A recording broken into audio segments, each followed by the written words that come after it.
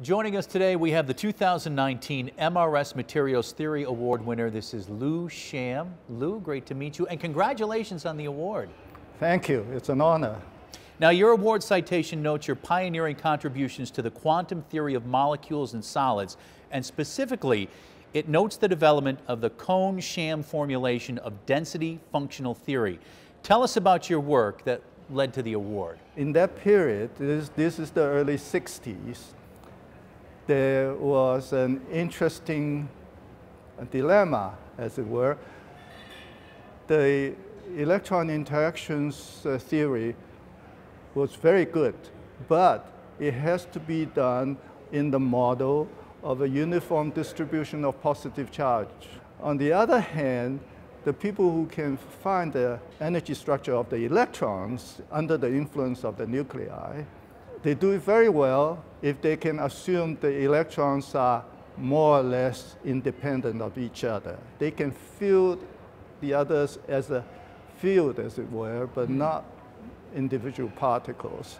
The tension between the two sides uh, were palpable. they were kind of, right. you know. Sure. So then I went to uh, La Jolla, postdoc with Walter Kohn.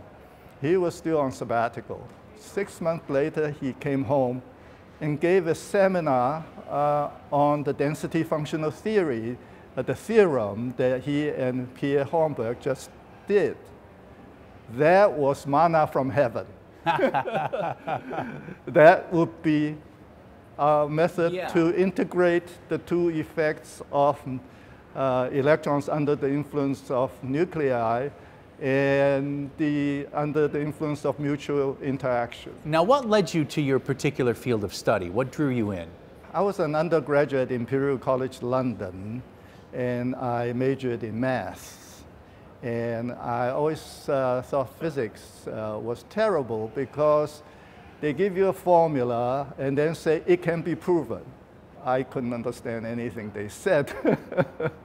it was all could be proven. Right. Then in the third year, which was our final year uh, of the degree, suddenly we were, we were taught physics that was based on mathematical formulations. It was wonderful. And the light bulb went off. Now, what are some of the applications or devices that have resulted from the work you've done? Well, it's actually quite broad. A lot of physical sciences uh, and even biologists are now using it because a lot of things depend on the electron. It's, it is probably the most intimate particle that we are aware of, your watch and everything, right? Sure. it's all electronic. To give you an example, it started with atoms. Uh, the, the people who do optics on atoms uh, were quite appreciative of the density functional theory method of uh, working.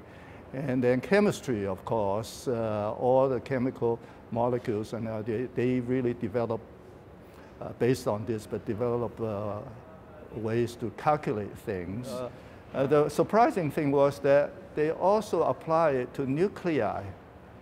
So like David Thales told me, oh, he used it to understand the isotope of calcium.